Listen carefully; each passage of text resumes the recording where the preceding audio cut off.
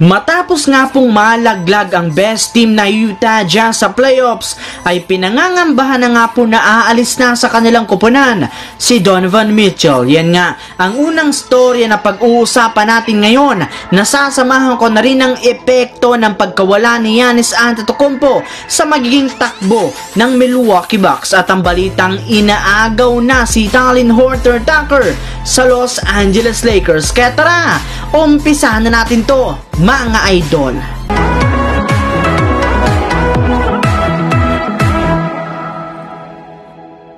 Hindi pa rin nga po naging sapat ang pagiging best team ng Utah Jazz sa regular season upang makapasok sila sa NBA Finals at makakuha ang kampeonato kaya inaasahan na nga po ng marami na silang haharaping problema ngayong off-season katulad na lamang ng ibinalitang isa sa kanilang mga superstar ay hindi sigurado kung mananatili ito sa kanilang prangkisa. Ayon nga po sa inilabas na balita ni Brian Windhorst, nangangamba nga daw po ang bagong co-owner ng Utah Jazz na si Dwayne Wade sa kanilang superstar na si Donovan Mitchell dahil mukhang hindi nga daw po ito handa na manatili sa kanilang kupunan. Isa nga daw po sa mga rason bakit kinuha ng Jazz si Dwayne Wade ay upang makumbinsi si Donovan Mitchell na hindi umalis kahit biguman sila na manalo ng kampeonato ngayon.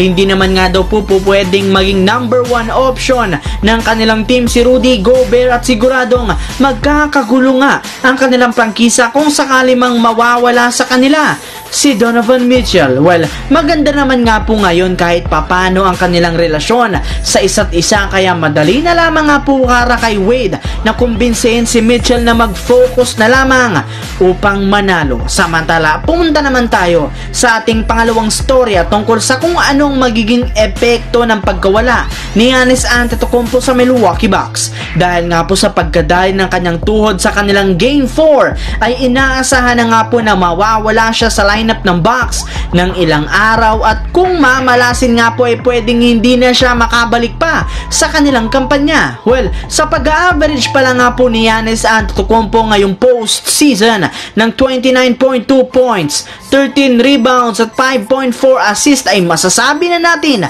na walang sino man sa kanyang mga teammates ang may kakayahan na palitan o pantayan man lang ang kanyang nagagawang impact sa Milwaukee Bucks pero wala na nga po sila ngayong magagawa kundi mag-step up sa kanilang mga susunod na laro lalo pat kita nyo naman na napakalaking numero ang mawawala sa kanilang produksyon. Isa pa mga idol, kailangan rin nga po nilang gayahin ang ginagawa ng Atlanta Hawks na nawalan rin ng isang superstar sa katauhan ni Trey Young. Ngunit kahit tablaman nga po ang kanilang serye sa 2-2 as of now ay malinaw nga po na yamado dito ang Atlanta Hawks given na napatunayan na nila na marami sa kanilang mga players ang kaya mag-step up kumpara sa Milwaukee Bucks. Sa huling balita naman tayo, magiging mahirap nga po para sa Los Angeles Lakers ang kanilang magiging desisyon ngayong off-season given na meron sila ngayong halos sampung manlalaro na magiging free agent na. At isa nga po dito si Talin Horton Tucker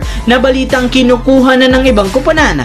Ayon nga po sa inilabas na balita ng Bleacher Report, mayroon na nga daw pong isang executive sa Eastern Conference ang nagsabing handa na nga daw po sila na bigyan ng maximum contract si Talin Horton Tucker. Kaya mukhang hindi nga po magiging madali para sa Lakers na pabalikin siya sa susunod na season. Ngunit para nga po sa inyong kalaman, hindi naman nga po ganoon kataasan ang limit ng kanyang maximum contract kumpara sa ibang mga players. Dahil aabutin lamang nga po ito ng 9.5 million dollars sa susunod na dalawang taon. At dahil rin nga po isa siyang restricted free agent ay may kakayahan rin nga po ang Lakers na tapatan ang offer ng kahit anumang kupunan. Well, nag-average nga po si Talon Horton Tucker ngayong season ng 9 points, 2.6 rebounds at 2.8 assists pero hindi nga po yan ang pinagtutunan ng pansin ng ibang kupunan kundi ang kanyang napakalaking potensyal na maging superstar. So yun lang mga idol ang ating pangalawang video dito once again. This is J-Zone TV. Don't forget to subscribe mga idol at syempre pindutin na rin ang notification bell para lagi kayong ma-notify sa mga inilalabas kong videos. Syempre, i-follow nyo na at bisitahin ang ating Facebook page J-Zone TV. So that's it mga idol. Thanks for watching. Hopefully, nag-enjoy kayo sa pananood.